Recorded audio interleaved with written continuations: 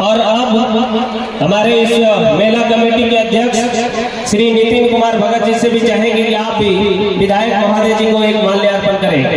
एक बार जोरदार ताली हो जाए।